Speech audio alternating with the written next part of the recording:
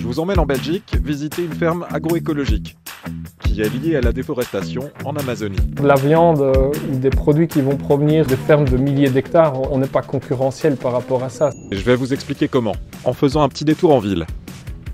Dans toutes mes vidéos, je me rends compte qu'il faut une bonne dose de volonté politique pour faire aboutir les initiatives agroécologiques. Alors dans cette vidéo, je vous propose de plonger avec moi au cœur du combat politique, et ça on va le faire ici, à Bruxelles. On ne va pas rester longtemps dans le béton, mais c'est ici que j'ai rendez-vous avec six petits producteurs qui ont fait un très long voyage. Ils arrivent d'Amazonie.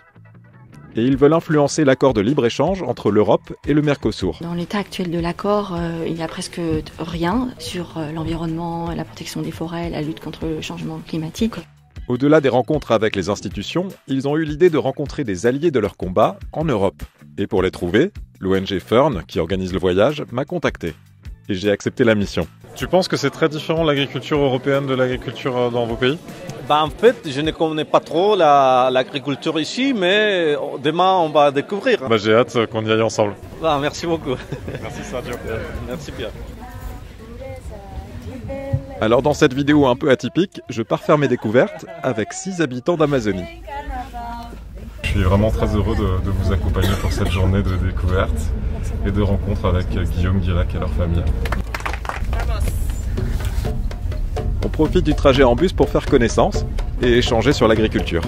La agricultura que nosotros tenemos como pueblos indígenas es muy diverso porque utilizamos los conocimientos tradicionales. Como guaraní tenemos sí, eh, que es una identidad nuestra, eh, el maíz. El sol eh, es lo que es el reflejo dentro del maíz, eh, porque justamente sin eso nosotros no somos. Por uma família extrativista, é uma agricultura que traz no seu formato a proteção também da biodiversidade. A minha geração, a geração dos meus antepassados, eles, eles plantam é, a agricultura, a, os, os seus produtos na terra de forma respeitando o ciclo de rotatividade lunar, né? que é diferente dessa agricultura mecanizada, né? que, que acelera o processo uh, para produzir mais e mais e mais e mais. Est-ce que vous la voyez, cette agriculture intensive, autour de vos lieux de vie agricultura baseada na produção de commodities como soja, carnes, óleos de palma e grãos como milho, né, para exportação em larga escala, também chegou na minha comunidade. Tem fazenda é, quase tamanho da metade da Bélgica. É, isso significa que as terras da agricultura familiar acabam sendo ocupadas por essas culturas, né? E as pessoas acabam sendo expulsas é, ou então submetidas aos agrotóxicos que as grandes fazendas trazem e também não produzindo a comida, porque muitos trabalham para produzir essas culturas de exportação. Merci Paulinha, obrigado. Obrigada, imagina, de nada. On arrive sur la ferme de Guillaume, qui nous accueille avec sa famille. J'ai tenu à aller le voir lui parce qu'il fait partie des agriculteurs engagés qui ont créé le collectif Farm for Good en Belgique. C'est pas la plus belle journée pour faire un tour de plaine, mais j'ai hâte de découvrir ça avec la délégation d'Amazonie. C'est une ferme familiale, donc euh, mon grand-père était agriculteur, mon papa agriculteur. Passez ici, attention. Ici dans le verger, on a planté 180 arbres avec sa sœur et son père, il cultive près de 70 hectares en bio, avec en plus une démarche de conservation des sols. Il y en a qui parlent espagnol et d'autres portugais. Sou quilombola. Somos comunidades que trabalham com o manejo da terra no sistema agroflorestal. Ah, muito interessante eu ver que ele também aqui em Bélgica, tá, os agricultores também estão voltando, né? principalmente voltando. Le mouvement est lancé, on, on forme des groupements avec des agriculteurs qui partagent notre état d'esprit, notre méthodologie. Papa gérait la ferme de façon conventionnelle, c'est-à-dire avec des produits chimiques, des rotations de culture courtes. On avait 250 vaches euh, dans la ferme, très typique de la région blanc-bleu belge. C'est vraiment des musclores, des, des Hulk. Et puis, il y a eu un gros changement euh, en 2007 parce que ma maman est décédée. Elle était jeune, elle avait 45 ans. Papa a commencé un peu à diminuer les activités de la ferme. Ma sœur et moi avons voulu retravailler à la ferme. On a eu des enfants. on a commencé à penser à notre autonomie alimentaire et on voulait faire un travail qui avait du sens. On est passé en agriculture biologique. Ça, ça a été une des premières étapes. Ça a été difficile pour papa. Ça a pris trois ans pour franchir le cap. ¿Y son vacas que están libres o están en corral? On les rentre euh, à la mi-novembre jusqu'à la mi-mars, avril, ça dépend du temps. Dès que le climat va un peu se réchauffer, elles vont aller dehors et donc elles sont à l'extérieur de avril à novembre. C'est des vaches de chez toi, hein? Ouais. Comment il s'appelle la race? C'est des aubracs. Faut pas aller dedans. Hein. Je voulais une race rustique et j'ai choisi celle-ci parce que je l'ai trouvée belle. C'est purement esthétique. Bonne raison aussi.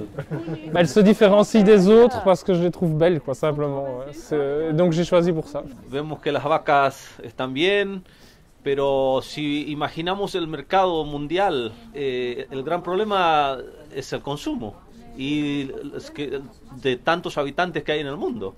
Y eso hace demanda más, este, más producción y demanda más este, comida, claro, lógicamente. Donc tu dis, il faut pas seulement produire autrement, mais il faut surtout consommer autrement. Claro. Lo que hace es eh, comprar las grandes extensiones de tierra, sembrar de una escala muy grande y exportar eh, eh, carne o soja o todos los productos aquí porque es lo que se necesita. Entonces, Chez Guillaume, on est vraiment très loin des modèles agricoles que dénoncent Katia, Sergio, Anna, Julio et Paulinia.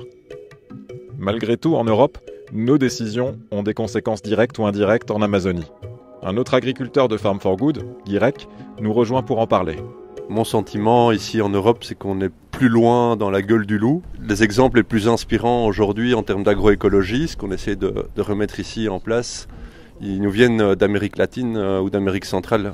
Il y a eu une préservation des bonnes pratiques, là où euh, ici en Europe, c'est depuis la Deuxième Guerre mondiale, donc en 40-45, euh, l'industrialisation de l'agriculture s'est fait intensivement et on a donc euh, 70 ans de destruction massive euh, et de- d'habitudes alimentaires qui sont liées à l'industrie et qui se sont exportées dans le monde entier. Aujourd'hui, c'est une problématique mondiale qui vous touche également. Além das vacas, que outras atividades vocês fazem aqui na fazenda? Euh, principalement céréales et sarrasin et moutarde. Il y a un moutardier tout près d'ici et il achetait ses graines de moutarde euh, en Ukraine, au Canada ou en France.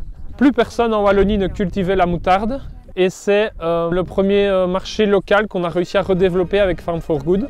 Ça a de plus en plus de succès, on est de plus en plus à en faire et donc ça fonctionne bien. Ça va, t'as compris un petit peu? Mais c'est bien hein, que tu aies fait venir ma femme et mes filles parce qu'elles ne s'intéressent pas à, à ce que je fais ici. Et là, enfin, elles ont été un peu sensibilisées, elles ont posé des questions. T'as pas froid toi? Vous serez content de rentrer en Amazonie ou pas?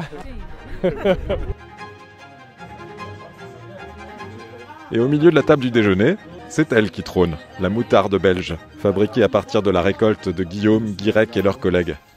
En plus d'être bonne pour la terre, je peux vous dire qu'elle est vraiment délicieuse. Même avec les rouleaux de printemps qu'on a rapportés pour notre pique-nique. Alors, comment les Européens et les Amazoniens peuvent-ils s'allier pour que l'accord de libre-échange respecte et l'environnement et les humains? Un des risques de cet accord est de voir euh, venir sur le marché européen euh, de la viande du Brésil. Les coûts de production ne sont pas les mêmes et ça a forcément des impacts négatifs sur, euh, sur les plus faibles. Estão falando de um território sem nos ouvir, sem nos escutar. Autour de cette table, je suis le seul à être euh, ni agriculteur ni habitant de l'Amazonie et je me sens un peu impuissant. Est-ce qu'il y a quelque chose qu'on peut faire, nous citoyens, pour soutenir euh, cette démarche-là et faire en sorte que un accord de libre-échange comme celui-ci intègre des mesures qui vous protègent, vous agriculteurs, vous habitants d'Amazonie, puisque si vous perdez, euh, on va tous y perdre. Tanto aqui quanto lá, tem uma grande parcela de agricultores familiares que sobrevivem a seu modo. Esse acordo não inclui nem os pequenos daqui, nem os pequenos de lá. Então, acho que assim, é, trocar essas informações é, é uma estratégia importante para nós. On n'y arrivera pas seul en tant que producteur, il faut, il faut qu'il y ait de la demande au niveau des consommateurs, d'où l'importance d'essayer de, de changer de système, de sensibiliser les gens à notre autonomie alim- alimentaire, notre autonomie énergétique. Et donc c'est important d'être soutenu pour régénérer les sols, c'est important d'être soutenu pour, euh, pour, la- pour la vente de nos productions. Pour les sols et le vivant, jusque dans la forêt amazonienne, la meilleure des actions, ça reste de consommer local. Juste et. Et de faire passer le message. Par exemple en likant et en partageant cette vidéo. Et je vous mets d'autres infos en description sur le collectif Farm for Good et sur la délégation d'Amazonie. On est tous terriens. Restez curieux.